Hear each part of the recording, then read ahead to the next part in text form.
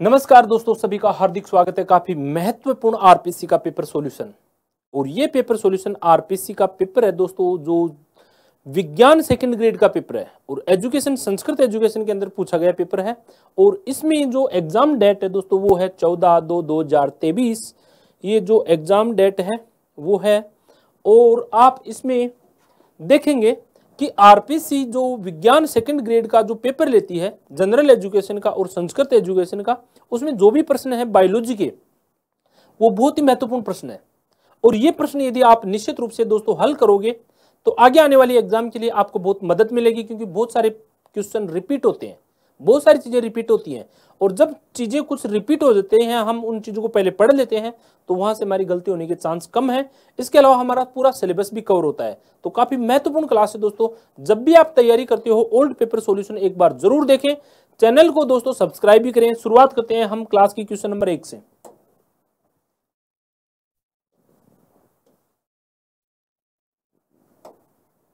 ये question number एक है दोस्तों। आपके सामने है, देखिए। क्वेश्चन नंबर एक आपके सामने है, यहाँ आपको बताया गया है किसके बारे में इवोल्यूशन से क्वेश्चन आया है दोस्त? इवोल्यूशन से। इवोल्यूशन या उद्विकास से हमारे जो क्वेश्चन आया है, वो है लेमार्क और डार्विन से ज़्यादातर प्रश्न पूछा जाता है। जहाँ भी आपको लेमार्क दिख जाता है दोस्तों, उपार्जित लक्षणों की वंशागति आपको अच्छे से मालूम है। इसके अलावा डार्विन है। डार्विन ने बहुत सारी बातें बताई थी कि जीव जो है अत्यधिक संख्या में पैदा होते हैं, संघर्ष होता है विभिन्नताएँ आती हैं, वातावरण में सर्वाइव करते हैं, योग्यतम की उत्तरजीविता होती है और ओरिजिन ऑफ़ स्पीसीज नई जाति की उत्पत्ति होती है। इसके अलावा डार्विन ने पेंजीवाद के बारे में भी बताया था कि हर कोशिका में कोई छोटे छोटा जीन होता है, वो जीन युग्मक में जाता है और फिर आगे अपना प्रभाव दिखाता है। तो पेंजीवाद का संबंध भी किससे है दोस्तों? डार्विन से। ओके? और जहाँ वीजमैन दिख जाता है, वहाँ जनन द्रव्य की निरंतरता का सिद्धांत आपको याद होना चाहिए दोस्तों। डी ब्रिज जहाँ हुगड़ी ब्रिज जहाँ दिख जाता है, वहाँ उत्परिवर्तन सिद्धांत। तो देखिए ये आपका मिलान लेमार का है उपार्जित लक्षणों की वंशागति। वीजमैन का है दोस्तों जर्म प्लाज्म सिद्धांत और डार्विन का है पेंजीवाद और डी ब्रिज का है उत्परिवर्तनवाद। और ये ऑप्शन आपका कौन सा है? ऑप्शन नंबर दो है। ओके दोस्तों, ऑप्शन नंबर दो में लेमार्क में क्या किया आपने? लेमार्क में आपने किया उपार्जित लक्षण। विजमैन में क्या किया दोस्तों? जर्म प्लाज्म और डार्विन में क्या किया? पेंजीवाद। डी ब्रिज में क्या किया दोस्तों? उत्परिवर्तनवाद। क्वेश्चन नंबर दो आपके सामने। क्वेश्चन नंबर दो देखिए, क्वेश्चन नंबर दो के अंदर कौन सा सही सुमेलित है? इसमें जो चार बातें दी गई हैं दोस्तों, उनके अंदर विच इज़ मोर करेक्ट आपको देखने की सबसे सटीक और सही बात कौन सी है। तो सामान्य शोषण में हम जो भी एयर बाहर निकालते हैं और जो भी एयर अंदर लेते हैं हवा, वो कहलाता है दोस्तों ज्वारीय आयतन, जिसको टाइडल वॉल्यूम कहते हैं टीवी और टाइडल वॉल्यूम टीवी है, वो ऑप्शन नंबर एक में है, बिल्कुल करेक्ट है। कि सामान्य श्वसन में अंत श्वसन और उच्च वसन में जो हवा है, वो टाइडल वॉल्यूम है 500 मिली होती है ये। तो ये बिल्कुल करेक्ट बात है दोस्तों ऑप्शन नंबर एक। बाकी गलत है।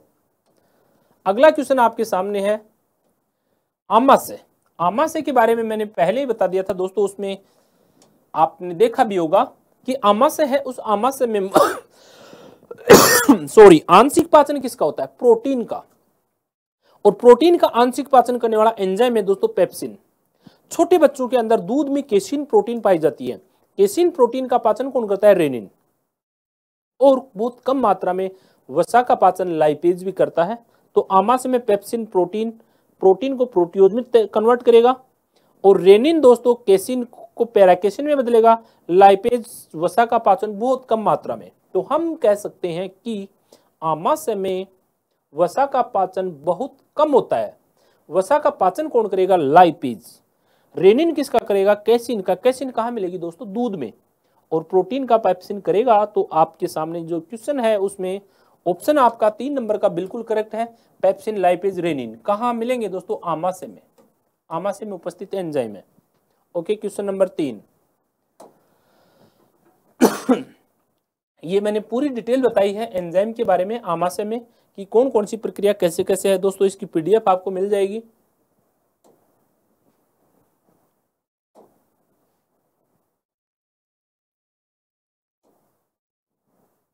डार्विन लेमार्क के बारे में भी मैंने आपको बताया है पूरे अच्छे से। इसकी भी आपको पीडीएफ मिल जाएगी।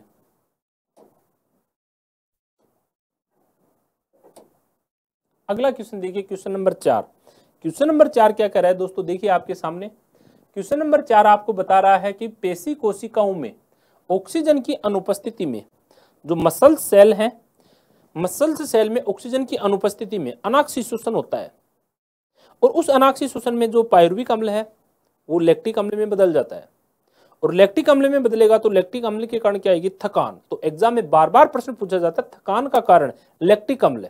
लैक्टिक अम्ल कहाँ बनेगा? मसल्स में पेशियों में। पेशियों में कौन सा शोषण होगा? अनाक्षी शोषण होगा दोस्तों।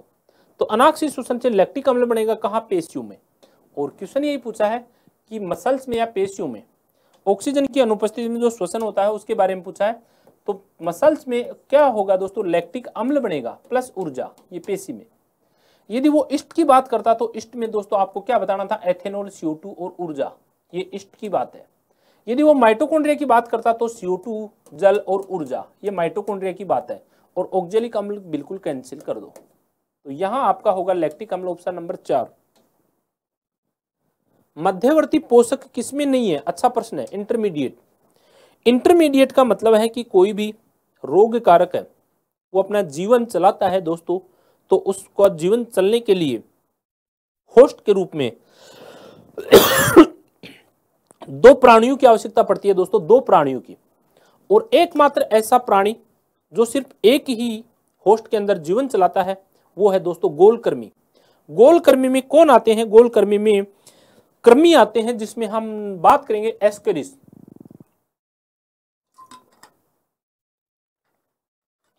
एस्केरिस दोस्तों, अपना जीवन आंत इंटेस्टाइन में पूरा करता है आंत्र में। और इसका पोषक एक ही है मनुष्य।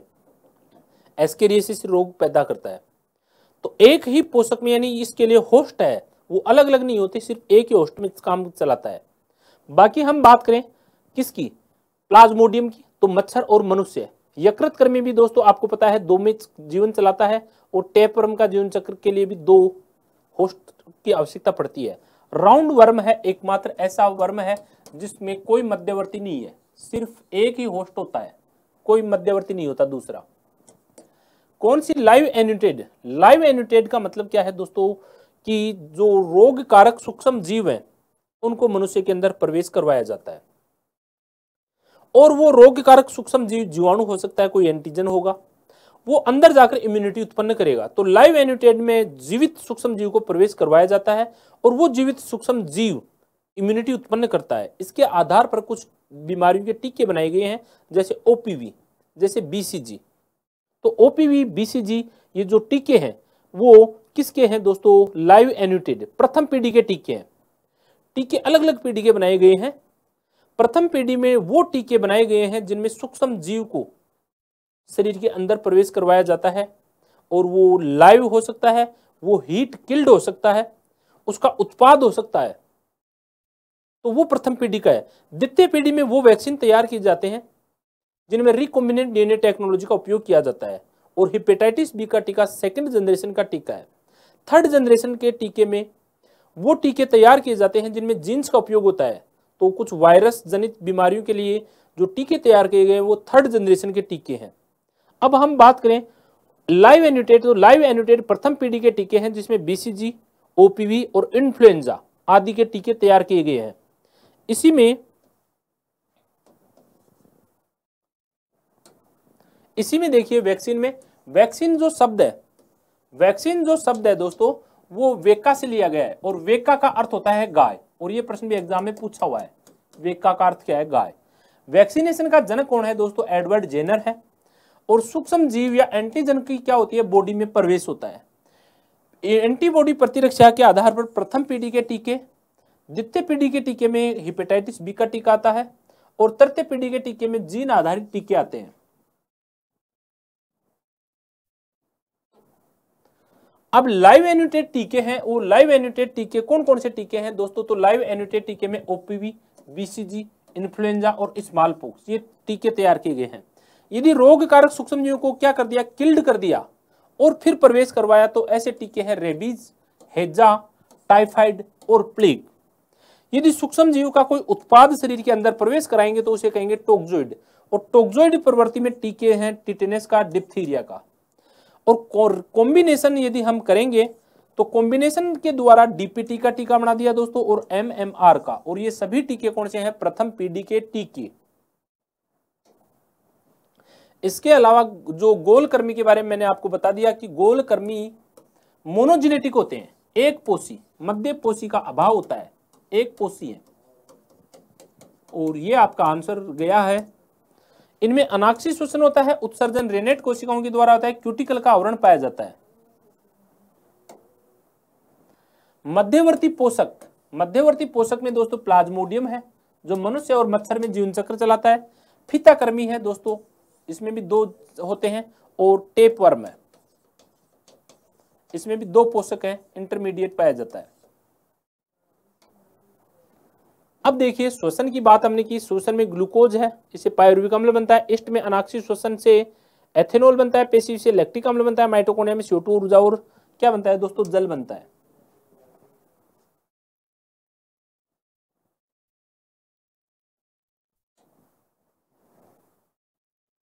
अगला देखिए।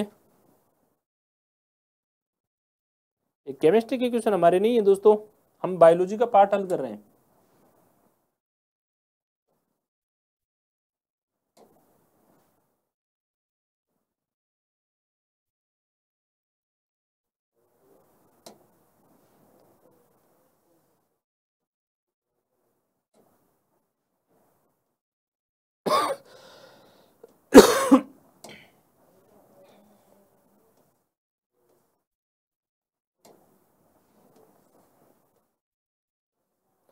बायोलॉजी का पार्ट हमारे लिए इंपॉर्टेंट है। हमारे जो प्रश्नोत्तरी है, वो दोस्तों बायोलॉजी की है। तो सेकंड ग्रेड बायोलॉजी का जो पार्ट है, उसी की हम चर्चा कर रहे हैं। सेकंड ग्रेड में बायोलॉजी से संबंधित संपूर्ण कंटेंट आप ट्रिपल एस एजुकेशन ऐप पे प्राप्त कर सकते हैं दोस्तों।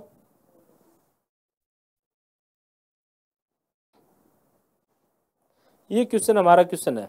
देखिए, यहाँ आपके सामने दोस्तों एक सीक्वेंस दी है और उस सीक्वेंस के बारे में बात करते हैं दोस्तों साइनोडेलगर्नो साइनोडेलगर्नो क्या है? तो जब प्रोटीन सिंथेसिस होता है दोस्तों, उस प्रोटीन सिंथेसिस में एमआरएनए की जो राइबोसोम से बाइंडिंग साइट है, वो बाइंडिंग साइट क्या कहलाती है? साइनोडलगर्नो और ये प्रोक्यूरियोटिक की बात है तो साइनोडलगर्नो एमआरएनए की बाइंडिंग साइट है राइबोसोम से ओके इसके अलावा द्विसूत्र न्यूनता। द्विसूत्र न्यूनता का मतलब क्या है दोस्तों? तो आनुवंशिक पदार्थ, जो गुणसूत्र होते हैं उन गुणसूत्रों के अंदर कई बार तो क्या है? सुगुणिता है, यूप्लोइडी। कई बार असुगुणिता है, एन्यूप्लोइडी। तो एन्यूप्लोइडी में जो क्रोमोजोम्स हैं, उनके सेट में एक या दो गुणसूत्रों की क्या होती है? कमी या अधिकता।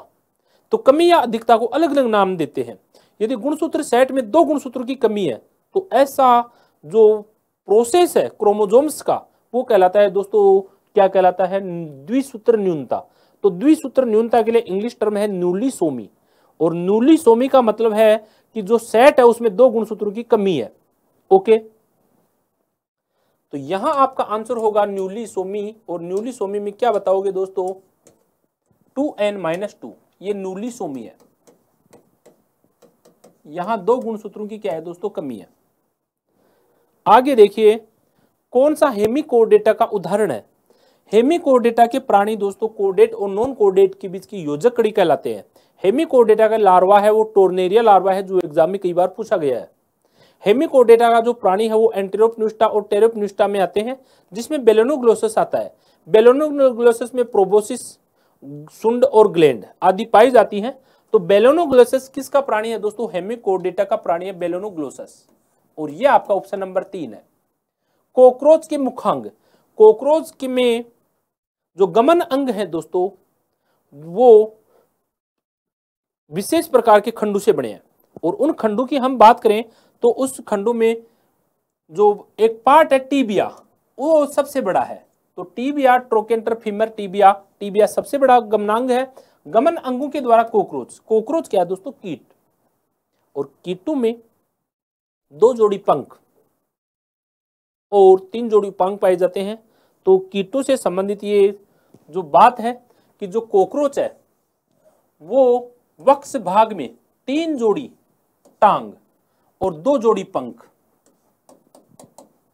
पंख कितने दोस्तों? दो जोड़ी। तो दो जोड़ी पंख और तीन जोड़ी टांगे। तीन जोड़ी टांगों में खंड है। वो खंड है कोगजा, ट्रोकेंटर, फीमर, टीबिया और टार्सस। सबसे बड़ा खंड कौन सा है? टीबिया। और ये अच्छा प्रश्न है कि सबसे बड़ा खंड कौन सा है? टीबिया। यही आपका क्वेश्चन है।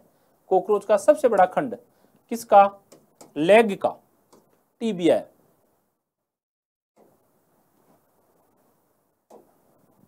इसके अलावा हेमिकोडेटा है। वो कोडेटा और नॉन कोडेटा के बीच की योजक कड़ी है। और बेलेनोग्लोसिस है। वो आपका है इकाइनोडर्मेटा। दोस्तों, बाइपिनेरिया लार्वा है। और टोर्नेरिया लार्वा आपको मैंने बता दिया, समुद्री प्राणी है इकाइनोडर्मेटा के। हेमिकोडेटा को एंटेरोपनिस्टा और टेरोब्रेंकिया में डिवाइड किया गया है। गुणसूत्र क्रोमोजोम्स क्रोमोजोम्स के दो से अधिक जोड़े सुगुणिता या यूप्लोइडी कहलाती है। लेकिन जोड़े में संख्या कम होना या ज़्यादा होना असुगुणिता और असुगुणिता को एन्यूप्लोइडी कहते हैं। यदि दो की कमी है तो न्यूलिसोमी, एक की कमी है मोनोसोमी और एक की अधिकता है दोस्तों तो ट्राइसोमी। प्रोटीन संश्लेषण में एमआरएनए की बाइंडिंग साइट मैंने आपको बता दी है दोस्तों। यहाँ देखिए अच्छा प्रश्न है, मालवेसी कुल। मालवेसी कुल दोस्तों माल्य कुल भी कहलाता है, और ये प्लांट फैमिली का क्वेश्चन है। मालवेसी कुल के अंदर जो बाह्य दल दल और जो जायांग है, उसको आप फ्लोवर फॉर्मूला से ज्ञात कर सकते हैं। और फ्लोवर फॉर्मूला क्या है? दल तो बाह्य दल कितने हैं दोस्तों? पाँच। कैसे हैं? संयुक्त। दल कितने हैं दोस्तों? पाँच। अलग अलग हैं। पुमकेसर कितने हैं? अनंत। और जायांग कैसा है दोस्तों? पंचंडपी किसकी बात है? मालवेशी कुल की। तो यहाँ देखिए, दल पाँच है, स्वतंत्र है। बिल्कुल सही बात है दोस्तों। दल पाँच है, स्वतंत्र है। पुंकेसर की संख्या असंख्य है। बिल्कुल सही बात है। जायांग पंचंडपी है। यहाँ कह रहा है जायांग द्विंडपी तो ये बात गलत है। तो पहली बात बिल्कुल सही है। दूसरी बात बिल्कुल सही है। तो ए और बी बिल्कुल सही है। तो यहाँ ऑप्शन आपका क्या होगा दोस्तों? यहाँ ऑप्शन आपका होगा ए व बी बिल्कुल राइट करेक्ट आगे देखिए आप। अम्ल वर्षा। अम्ल वर्षा आप जानते हो दोस्तों एसिडिक रेन का कारण।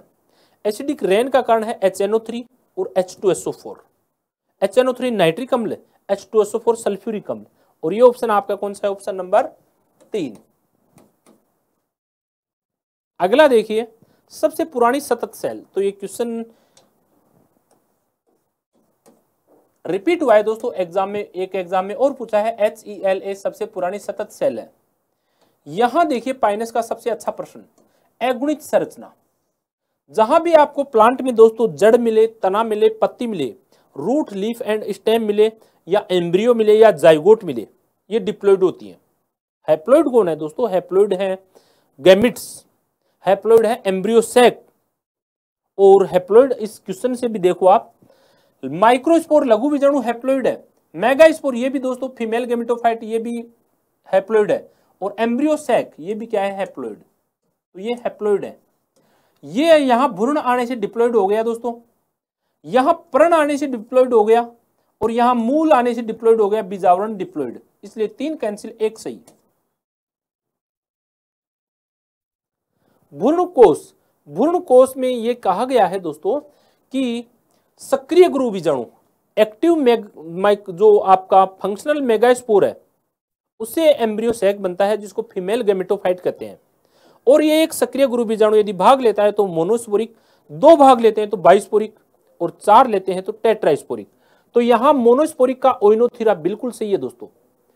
बाई मोनो बिल्कुल सही है। इसके अलावा जो बाइस्पोरिक है उसका दोस्तों कौन सा है? एंडोमियोन और टेट्राइस्पोरिक है दोस्तों, उसका कौन सा है? टेट्राइस्पोरिक का। तो ये है आपका दो नंबर। और यहाँ टेट्राइस्पोरिक केंद्रीय भ्रूणपोष ये आपका तीन नंबर कौन सा है? फ्रिटिलेरिया तो यहाँ देखिए आपका ऑप्शन नंबर एक होगा। और ये प्रश्न एग्ज़ाम में पूछ लिया गया है। फ़र्स्ट ग्रेड में भी इस प्रकार का प्रश्न आया था और सेकंड ग्रेड में भी। इसको आप यूँ समझ सकते हो मोनोस्पोरिक मोनोस्पोरिक ओइनोथीरा और पोलीगोनम में पाया जाता है। पोलीगोनम में। ओके दोस्तों बाइस्पोरिक एंडीमियोन और एलियम में पाया जाता है। एंडीमियोन में और एलियम में। टेट्राइस्पोरिक पाया जाता है दोस्तों नीटम में फर्टिल एरिया में और प्लम बेगो में। और ये आपकी एनसीआरटी से ही उठाया गया प्रश्न है।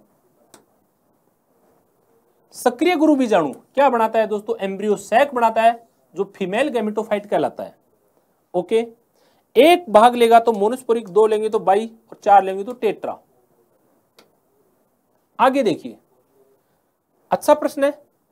नाइट्रोजन मेटाबॉलिज्म में कौन सा पोषक तत्व काम आता है? नाइट्रोजन मेटाबॉलिज्म का दोस्तों, कैसा अच्छा शानदार प्रश्न है। तो नाइट्रोजन मेटाबॉलिज्म में कौन सा काम आता है? देखिए आप। नाइट्रोजन मेटाबॉलिज्म में काम आता है दोस्तों मोलिब्डेनम मोलिब्डेनम और आयरन नाइट्रोजिनेज एंजाइम के घटक हैं। और नाइट्रोजनीजिनेज एंजाइम दोस्तों नाइट्रोजन मेटाबॉलिज्म में सहजीवी नाइट्रोजन स्थिरीकरण में काम आने वाला तो है एंजाइम है नाइट्रोजिनेज।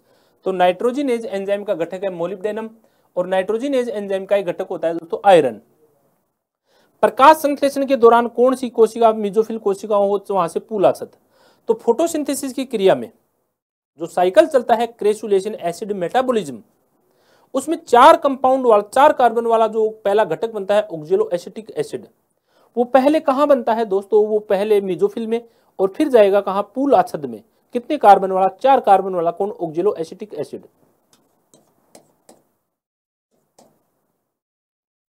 आगे देखिए, एथिलीन का पूर्वगामी, यानी जो एथिलीन है दोस्तों, इस एथिलीन का पूर्वगामी कौन होता है? तो एथिलीन का प्रिकर्सर्स होता है दोस्तों मिथियोनिन। मिथियोनिन एमिनो अम्ल एथिलीन का पूर्वगामी है। आपको ध्यान रखना है कि मिथियोनिन, एथिलीन का दोस्तों क्या है? पूर्वगामी precursors amino acid neoteny neoteny का मतलब क्या है? चिरभ्रूणता। और चिरभ्रूणता का मतलब है दोस्तों, जो लार्वा है, उसमें वैस के लक्षण एक्जोलेटिव लार्वा है, सेलामेंडर का, उसमें न्यूटेनी पाई जाती है। और न्यूटेनी का मतलब है कि जो वैस्क है, उसमें लार्वा के या स्मॉल जो डेवलपमेंट है प्राणी का भूर्णीय डेवलपमेंट, वो लक्षण। तो न्यूटेनी शब्द दिया था दोस्तों जूलियन कोलमैन ने। जूलियन कोलमैन ने दिया न्यूटेनी, और न्यूटेनी पाई जाती है एक्जोलिटल लार्वा सेलेमेंडर। यहाँ अगला क्वेश्चन देखिए, कौन सा इनहिबिटर संचारी है और प्राकृतिक एमिन से एमिनो अम्ल है? दोस्तों एमिनो अम्लों से प्रोटीन बनता है, और एमिनो अम्लों की संख्या है ट्वेंटी। दस इसेंशियल और दस नॉन इसेंशियल कुछ एमिनो एसिड ऐसे होते हैं जो प्रोटीन संश्लेषण में भाग नहीं लेते और विशेष काम करते हैं, जैसे ओर्निथिन और सिट्रुलिन यूरिया निर्माण में भाग लेते हैं। ओर्निथिन और सिट्रुलिन यूरिया निर्माण में भाग लेते हैं, लेकिन जी ए बी ए ये भी क्या है दोस्तों? ये ब्रेन में, मस्तिष्क में पाया जाता है और ए न्यूरो इनहिबिटर है। तो जी A B A Gauba ji A B ए गाबा क्या है? ब्रेन में पाया जाता है और ये कैसा है दोस्तों? इनहिबिटरी ट्रांसमीटर है। इनहिबिटरी ट्रांसमीटर खपरा भ्रंग का नाम है दोस्तों, खपरा भ्रंग का नाम आप देखते ही कर देना। ट्राइगोडर्मा ग्रेनीरियम ये खपरा भ्रंग का वैज्ञानिक नाम है।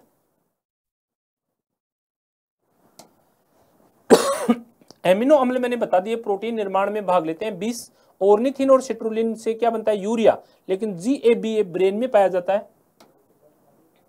चिरभूर्णता एक्सोलेटल लार्वा में पाई जाती है।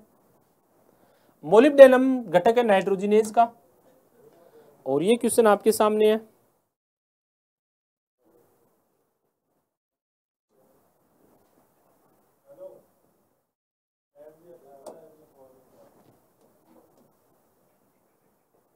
क्लोरोफिल देखिए दोस्तों क्लोरोफिल क्लोरोफिल का जो संरचनात्मक घटक है, वो कौन है?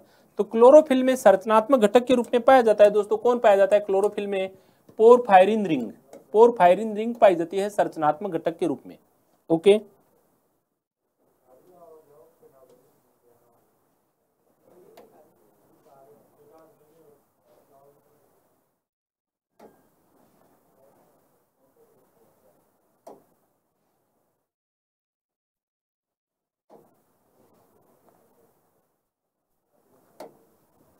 यहाँ हम बात कर रहे हैं दोस्तों बायोलॉजी के जो जितने भी क्वेश्चन पूछे गए हैं, उनकी ये आपके सामने है क्वेश्चन एडिनोसिन एडिनोसिन क्या है दोस्तों? एडिनोसिन है नाइट्रोजनी शारक और शर्करा। नाइट्रोजनी शारक और सरकरा मिलेंगे तो न्यूक्लियोसाइड बनेगा। यदि नाइट्रोजनी शारक एडिनिन के साथ है तो एडिनोसिन और यही है एडिनोसिन राइबो न्यूक्लियोसाइड क्योंकि यदि ये डीएनए शर्करा होती तो वो डीऑक्सी हो जाता। तो यहाँ एडिनोसिन है। एडिनोसिन किसमें होगा? आरएनए में। और आरएनए के लिए क्या काम में लोगे? राइबोन्यूक्लियोसाइड। तो एक आर, आरएनए क्या है? एक राइबोन्यूक्लियोसाइड है। आगे का क्वेश्चन देखिए आपके सामने है। असत्य कथन। असत्य कथन के अंदर क्या है दोस्तों? जो माइक्रोट्यूब्यूल्स हैं, वो कोशिका का आकार बनाते हैं। बिल्कुल सही बात है। माइक्रोट्यूब्यूल्स हैं दोस्तों, ये अंत कोशिके परिवहन में भाग लेती है, बिल्कुल करेक्ट बात है। और माइक्रोट्यूब्यूल्स गमन नांग में भी सहायक है, जैसे सीलिया और फ्लेजिला माइक्रोट्यूब्यूल से बनते हैं। फिर यहाँ क्या है दोस्तों, यहाँ जो असत्य कथन है कि माइक्रोट्यूब्यूल सेल प्लेट में भाग लेती हैं, ये गलत बात है, ये असत्य है। आगे देखिए, काइटिन।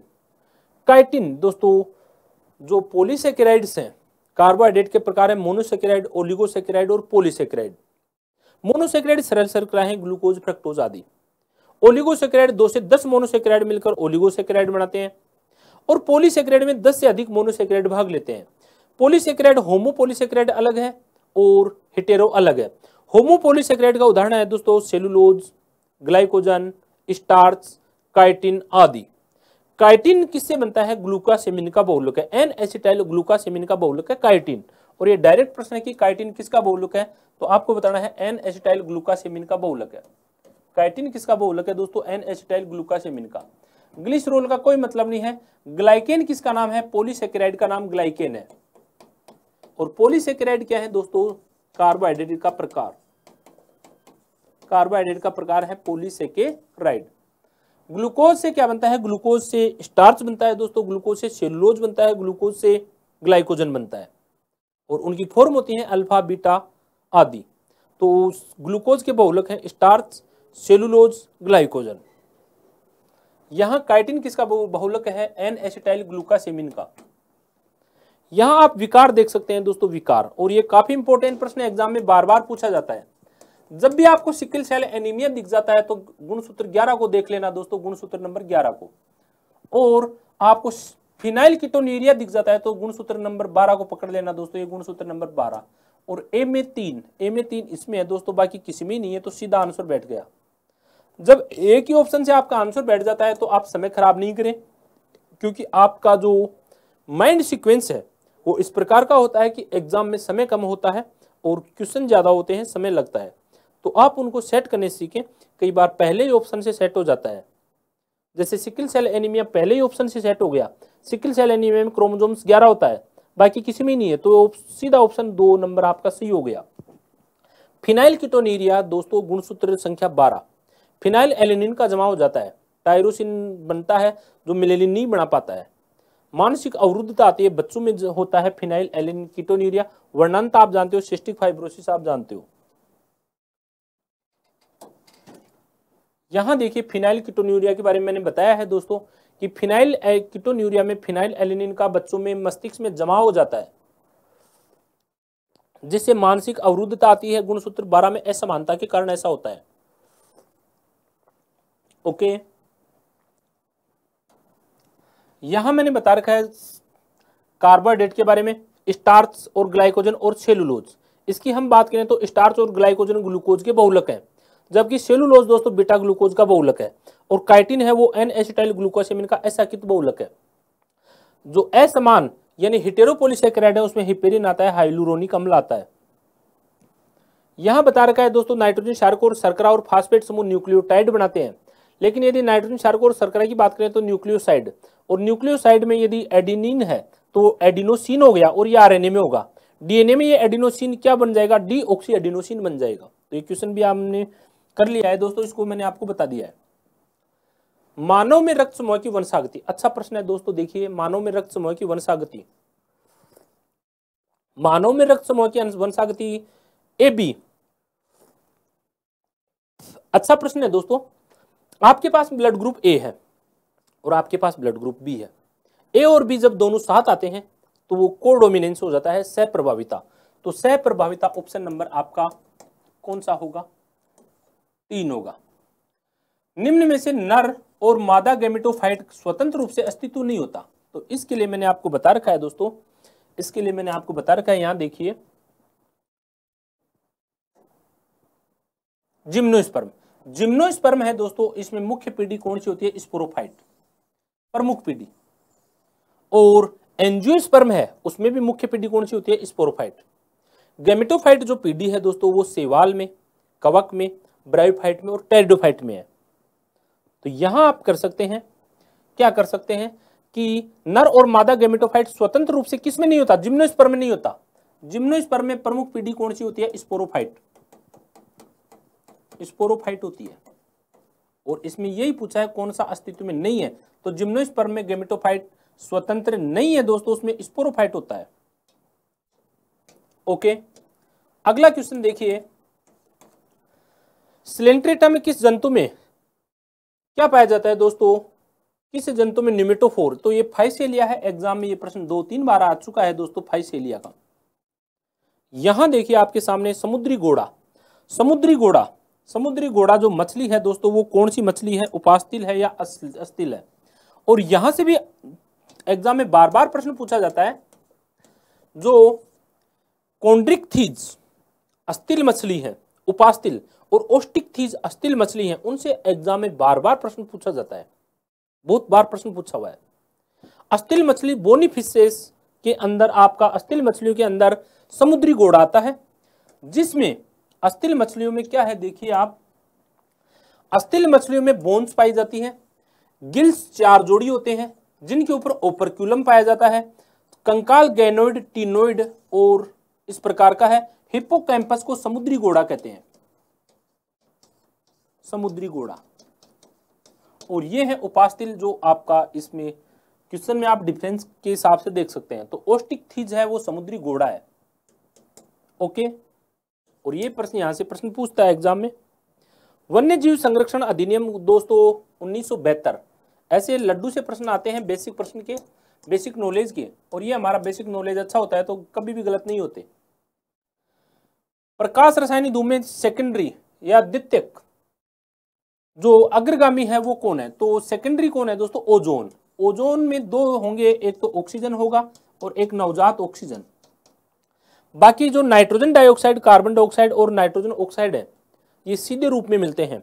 तो वातावरण में जो प्रदूषक डायरेक्टली मिलते हैं दोस्तों, सीधे मिलते हैं, वो प्राथमिक।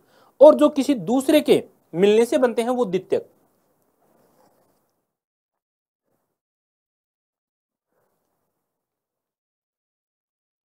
तो यहाँ द्वितीय कौन हो गया दोस्तों ओजोन, क्योंकि ये दो से बनता है और दो बार इसमें नवजात ऑक्सीजन और ऑक्सीजन की क्रिया से बनता है।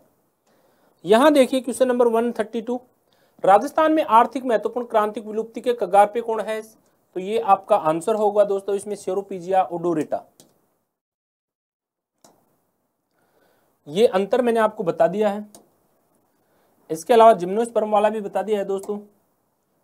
यहाँ देखिए रेस्ट्रिक्शन एंडोन्यूक्लियस एंजाइम कौन सा है? दोस्तों, बहुत ही शानदार प्रश्न है। रेस्ट्रिक्शन एंडोन्यूक्लियस एंजाइम को आणविक जीव विज्ञान की कैंची कहते हैं। और रेस्ट्रिक्शन एंडोन्यूक्लियस एंजाइम जो फ़र्स्ट है, वो प्राप्त किससे होता है? वो इसकी जो प्रभेद है दोस्तों, प्रभेद स्ट्रेन वो कौन सी है? एम तेरह इससे प्राप्त होता है।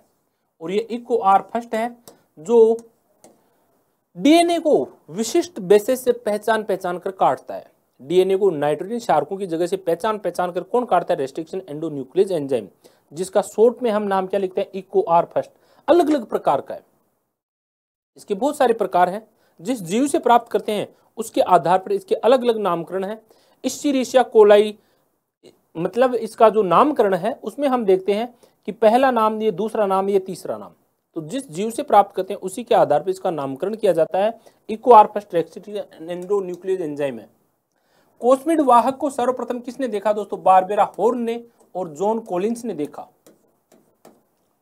अगला देखिए क्वेश्चन आपके सामने है। अगला क्वेश्चन आपके सामने है दोस्तों, देखिए। पोलीमरेज चैन रिएक्शन की आवश्यकता किसमें नहीं है? तो पोलीमरेज चैन रिएक्शन के बारे में मैंने आपको पहले बताया है। पीसीआर के बारे में दोस्तों, पीसीआर क्या होती है, देखिए। पीसीआर पीसीआर क्या होती है, देखिए।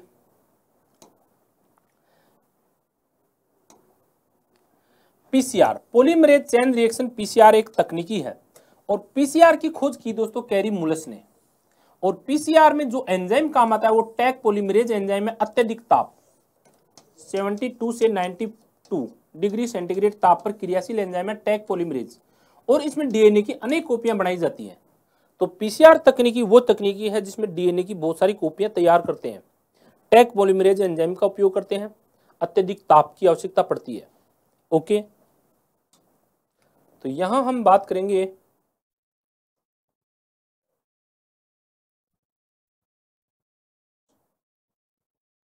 पीसीआर पीसीआर में किसका उपयोग नहीं करते? डीएनए टेम्पलेट आता है दोस्तों टेम्पलेट तंतु आते हैं डीएनए टेम्पलेट इसमें इसमें डीएनए आता है डीएनए और टैग पोलिमरेज जो अत्यधिक ताप 72 से 92 डिग्री सेंटीग्रेड आरएनए का उपयोग नहीं होता। इसमें आरएनए का कोई उपयोग नहीं होता। सबसे छोटी कोशिका, देखते हैं आंसर कर दो दोस्तों, सबसे छोटी कोशिका, यहीं से पकड़ लो। सबसे छोटी कोशिका माइकोप्लाज्मा अनाक्षी शोषण होगा ही उसमें। तो माइकोप्लाज्मा और अनाक्षी शोषण इसमें कोशिका भित्ति का भी अभाव है, ये पिछली बार पूछा था। इसका पिछली बार क्वेश्चन क्या था? कोशिका भित्ति का अभाव। कोशिका भित्ति का अभाव। माइक्रोबायोलॉजी का जोकर कहते हैं। ये प्रश्न पिछली बार आया था इसका। कि कोशिका भित्ति का अभाव किसमें है? माइकोप्लाज्मा में। पिछली आरपीसी में आया था ये क्वेश्चन अब की बार क्या आया है? सबसे छोटी कोशिका, यहीं से पकड़ में आ जाएगा। ऑक्सीजन की अनुपस्थिति में होगा। वायरस। वायरस क्या है दोस्तों? अविकल्पी है और परजीवी तो होते ही है। इसके अलावा देखिए सूरजमुखी। सूरजमुखी का जो पुष्पक्रम है दोस्तों, वो मुंडक है। और सूरजमुखी का जो मुंडक पुष्पक्रम है, वो सबसे विकसित पुष्पक्रम है। उसके जो पुष्पक हैं, वो पास पास पाए जाते हैं। और ये कंपोजिटी कुल का की विशेषता है। कंपोजिटी कुल को सूरजमुखी कुल भी कहते हैं। इसमें बाह्य दल पेपस बनाता है। ओके? और युक्त कोशी और आधार लग्न बीजान्यास की इसकी विशेषता है कंपोजिटी कुल की। तो कंपोजिटी कुल, सूरजमुखी कुल, मुंडक पुष्पक्रम। Tunica, corpus. ट्यूनिका और दो चीज़ें होती हैं। एक तो ट्यूनिका और एक होती है कार्पस। तो ट्यूनिका की कोशिकाएँ दोस्तों अपना तल में विभाजन करती हैं। ये डायरेक्ट प्रश्न पूछ लिया आपकी बुक से, सीधा प्रश्न अपनत तल से, ट्यूनिका की कोशिकाएँ। और इसको मैंने बता दिया कि ट्यूनिका कार्पस सिद्धांत सिमेंट ने दिया था। ट्यूनिका की कोशिकाएँ अपने तल में, एक ही तल में, और इसे सतह का विकास होता है। कार्पस की सभी तलों में इसे आयतन बढ़ता है।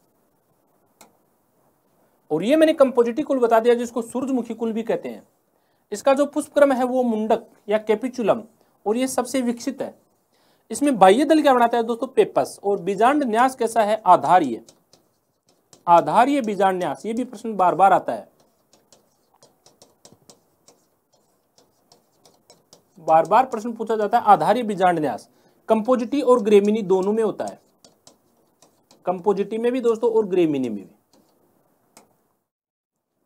वायरस दोस्तों, कोशिका सिद्धांत का अपवाद है। वायरस दोस्तों अविकल्पी और परजीवी है और सजीव और निर्जीव के बीच की योजक कड़ी है। सबसे छोटी कोशिका पीपीएलओ है दोस्तों, जिसको माइकोप्लाज्मा कहते हैं। सूक्ष्म विज्ञान का जोकर है दोस्तों, और पिछली बार प्रश्न पूछा था इसमें कोशिका भित्ति नहीं पाई जाती अनाक्षी श्वसन होता है। पीसीआर के बारे में मैंने आपको बता दिया दोस्तों। अगला क्वेश्चन आपके सामने है, कौन सा सही नहीं है? यानी तीन चीज़ें दोस्तों सही है, एक चीज़ सही नहीं है। देखिए, इस प्रश्न में यह बताया गया है कि पादप की पत्तियों में भोजन बनता है और भोजन का परिवहन फ्लोएम करेगा और फ्लोएम सभी दिशाओं में करेगा। तो कभी भी फ्लोएम के द्वारा भोजन का परिवहन एक दिशीय नहीं होगा। द्विदिशीय हो सकता है, बहुदिशीय हो सकता है। एक दिशीय परिवहन होगा जल और खनिज लवणों का जाइलम के द्वारा। तो यही आपका क्या है? गलत है। फ्लोएम के द्वारा कभी भी एक दिशीय नहीं होगा। यही गलत है। बाकी सारी बातें सही है। यहाँ देखिए, जल का जो अवशोषण है, वो अवशोषण, निष्क्रिय जो अवशोषण है, उसमें जल का परिवहन दो मार्गों से होता है। एक तो जीवित मार्ग और एक अजीवित। जीवित या लिविंग, जिसको सिम्प्लास्ट या प्लाज्मो प्लाज्मोडेस्मेटा वाला मार्ग देखते हैं। और एपोप्लास्टिक है, वो निर्जीव पथ है। तो एपोप्लास्ट वो कोशिका भित्ति के बीच में से, खाली जगह में से होता है। अजैविक पथ है, कोशिका भित्ति के साथ साथ होता है, खाली जगह से। तो ये एपोप्लास्टिक है। Okay? Oxidative phosphorylation oxidative phosphorylation में क्या बनता है दोस्तों? एटीपी बनता है। और एटीपी का निर्माण आपको पता है ईटीएस साइकिल से होता है। ईटीएस साइकिल माइटोकॉन्ड्रिया की मैट्रिक्स में आंतरिक झिल्ली पर चलता है, जहाँ अंतिम इलेक्ट्रॉन ग्राही ऑक्सीजन होता है, और क्लोरोफिल ए थर्ड ये दोनों भाग लेकर कॉम्प्लेक्स बनाते हैं और जल का अणु बन जाता है ईटीएस के दौरान। तो ऑक्सीडेटिव फास्फोराइलेशन में ऑक्सीजन की उपस्थिति में एटीपी का निर्माण। कहाँ होगा? माइटोकॉन्ड्रिया की मैट्रिक्स में आंतरिक झिल्ली पर। तो माइटोकॉन्ड्रिया ढूंढ लीजिए इसमें। ओके, यहाँ देखिए, कोशिका द्रव्य में क्या चलेगा? ग्लाइकोलाइसिस। और क्लोरोफिल आपको पता है दोस्तों हरित लवक में पाया जाता है। और राइबोसोम प्रोटीन की फैक्ट्री कहलाता है, कोशिका का इंजन सबसे छोटा कोशिकांग। CO2 का स्त्रीकरण। तो CO2 का स्त्रीकरण कैलविन चक्र से होता है, जिसको C3 साइकिल कहते हैं। दोस्तों, कैल्विन चक्र को आपको पता है दोस्तों, कैल्विन चक्र कहाँ चलता है? हरित लवक में, क्लोरोप्लास्ट में, क्लोरोप्लास्ट के स्ट्रोमा भाग में। और कैल्विन चक्र में CO2 का अपचयन होता है, भोजन का निर्माण होता है। इसके अलावा, कैलविन चक्र को हम निम्नलिखित में से कौन सा CO2 स्त्रीकरण से संबंधित नहीं है? तो कैलविन चक्र है स्लैच चक्र। ये C4 चक्र चलता है C4 पादपों में।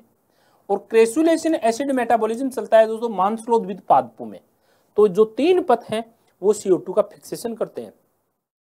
लेकिन क्रैप्स चक्र अलग प्रक्रिया है, वो श्वसन की प्रक्रिया है। क्रैप्स चक्र माइटोकॉन्ड्रिया की मैट्रिक्स में चलता है, उसमें श्वसन के दौरान ऊर्जा निकलती है। तो वो श्वसन से संबंधित पथ है CO2 अपचयन से संबंधित पथ नहीं है। क्रेप्स चक्र माइटोकॉन्ड्रिया की मैट्रिक्स में चलता है। क्रेप्स चक्र की खोज क्रेप्स हेंसलेट ने की थी। क्रेप्स चक्र के दौरान क्या मिलती है? ऊर्जा। पावर हाउस माइटोकॉन्ड्रिया मैट्रिक्स अगला क्वेश्चन देखिए दोस्तों। जब एक एंजाइम को सहकारक दो हटा देते हैं तो यदि एंजाइम के दो भाग होते हैं प्रोटीन भाग और नॉन प्रोटीन भाग। प्रोटीन भाग एपो एंजाइम और नॉन प्रोटीन भाग को फैक्टर यदि आप को फैक्टर को ही हटा दोगे तो उसकी सक्रियता समाप्त हो जाएगी। तो प्रोटीन के साथ में को फैक्टर को हटा दोगे तो उसकी सक्रियता क्या हो जाएगी? समाप्त हो जाएगी। साइनाइड साइनाइड जंतु को साइटोक्रोम ऑक्सीडेट देते हैं तो क्या होगा? तो एंजाइम की क्रियाविधि में दो प्रकार के प्रतिस्पर्धी भाग लेते हैं, एक तो कॉम्पिटेटिव एक नॉन कॉम्पिटेटिव यहाँ साइनाइड क्या है दोस्तों? नॉन कॉम्पिटेटिव है। तो नॉन कॉम्पिटेटिव आपका ऑप्शन नंबर कौन सा है? तीन। नॉन कॉम्पिटेटिव है। क्वेश्चन नंबर 146 में प्राकृतिक फाइटो हार्मोन नहीं है। प्राकृतिक फाइटो हार्मोन वे हैं जो प्लांट के से प्राप्त किए गए हैं, जैसे ए बी ए जैसे दोस्तों, इथाइलिन, ओके? और जैसे आई ए ए और आई बी ए ये प्राकृतिक फाइटो हार्मोन है जो प्लांट में पाए जाते हैं। कौन सा नहीं पाया जाता? ये नहीं पाया जाता।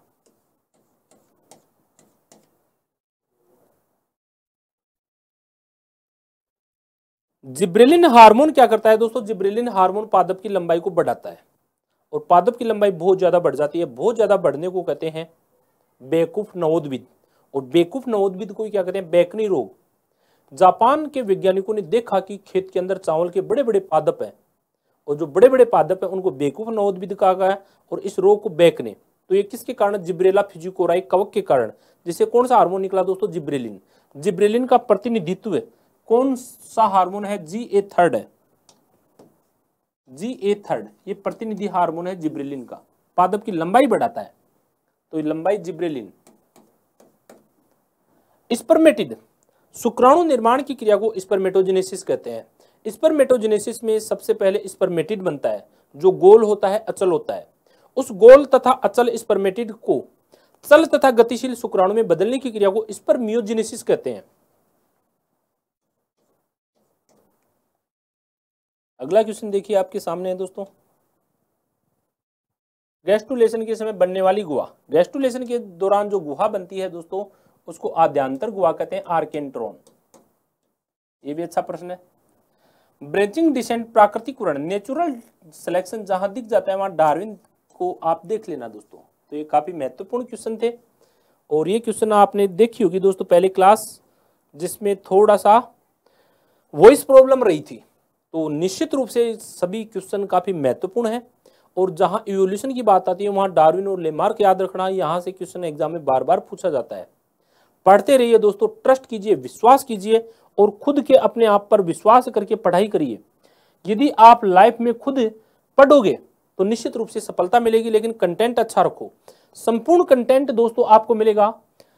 किस पे? Triple S education app play store पे जाओगे तो यहाँ मिलेंगे आपको नोट्स मिलेंगे दोस्तों नोट्स और यहाँ मिलेंगे नोट्स के साथ में।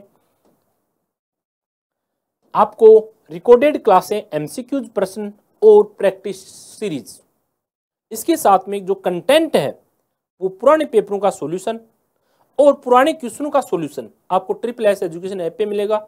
यहाँ दोस्तों आपको second grade first grade NEET और बायोलॉजी से संबंधित महत्वपूर्ण सामग्री क्लास ट्वेल्थ की एनसीआरटी क्लास इलेवंथ की एनसीआरटी क्लास टेंथ की NCERT line by line series बहुत ही शानदार जो आपकी प्रश्नोत्तरी है, वो यदि रहेगी तो हंड्रेड परसेंट आपको सफलता मिलेगी। लाइफ वो नहीं दोस्तों जो आपको मिली है, लाइफ वो है जो आप बनाते हैं। अच्छा कंटेंट पढ़िए, एनसीईआरटी आधारित पढ़िए, कॉलेज की बुक्स से नोट्स बनाइए और पुरानी बुक से नोट्स बनाइए। ओल्ड पेपर करिए दोस्तों, कम पढ़िए लेकिन अच्छा पढ़िए बार बार पढ़िए, आपका सिलेक्शन पक्का होगा। महानता दोस्तों हज़ार काम करने में नहीं है, महानता एक काम को हज़ार बार करने में है। यदि आपके पास सिलेबस बार बार रिपीट हो रहा है तो हंड्रेड परसेंट आपकी चांस सफलता के हैं। और यदि आप सिलेबस को एक बार ही पढ़ते हैं या उसको कम बार पढ़ते हैं तो आप कंफ्यूज हो जाओगे, आप दौड़ से बाहर हो जाओगे। इसलिए चीज़ें रिपीट हो बार बार रिविजन हो अच्छा कंटेंट हो। और कंटेंट के लिए मैं कहता हूँ दोस्तों, कि आपका जो ये कंटेंट है, वो नब्बे से पचानवे परसेंट आपका आरपीसी के पेपर से मिला के देख लेना। जो भी बच्चों ने पहले तैयारी की थी, ज़्यादातर बच्चों ने सिलेक्शन लिया है और ये सिलेक्शन होता है अच्छे कंटेंट से। तो महत्वपूर्ण ये है कि आप क्या पढ़ते हैं। बहुत ज़्यादा पढ़ने से सिलेक्शन नहीं होता दोस्तों। बहुत कम पढ़ने से भी सिलेक्शन हो सकता है, लेकिन वो चीज़ किस प्रकार की है? अच्छे कंटेंट के लिए ज्वाइन करें दोस्तों। ट्रिपल एस एजुकेशन ऐप और बायोलॉजी की महत्वपूर्ण क्लासें, महत्वपूर्ण नोट्स बुक्स सभी प्राप्त करें दोस्तों। फ़र्स्ट ग्रेड और सेकंड ग्रेड दोनों के लिए बुक के ऊपर काम चल रहा है दोस्तों, जल्दी ही बुक आने वाली है सेकेंड ग्रेड बायोलॉजी और फ़र्स्ट ग्रेड बायोलॉजी हस्तलिखित नोट्स दोस्तों फ़र्स्ट ग्रेड और सेकेंड ग्रेड के आप प्राप्त कर सकते हैं पीडीएफ फॉर्म के रूप में और हार्ड कॉपी के रूप में, दोनों में। Triple S education app download करें दोस्तों, पढ़ते रहिए, मुस्कुराते रहिए। ज़िंदगी जीने का नाम है दोस्तों लाइफ में लपड़े मत पाड़ो लाइफ में झगड़े मत करो, अपने आप पर विश्वास करो और खुद आप मेहनत करिए। आप दूसरों से उम्मीद मत करिए, अपने आप से उम्मीद करिए। दूसरों से उम्मीद करोगे दोस्तों, दुख मिलेगा। खुद से उम्मीद करिए और मेहनत करिए। सफलता मिलेगी, बहुत बड़ी खुशी मिलेगी। ओके? तो मिलेंगे दोस्तों, ऐसे ही प्रश्नोत्तरी के साथ आप इस ऐप पर जाएँ और डाउनलोड करें दोस्तों, महत्वपूर्ण कंटेंट पाएँ। इसके अलावा जितने भी एमसीक्यू जो ओल्ड पेपर हैं, वो यूट्यूब पे लाइन बाय लाइन सीरीज़ से और पुराने ओल्ड पेपर सॉल्यूशन लेके रोज आते हैं। जय हिंद, जय भारत।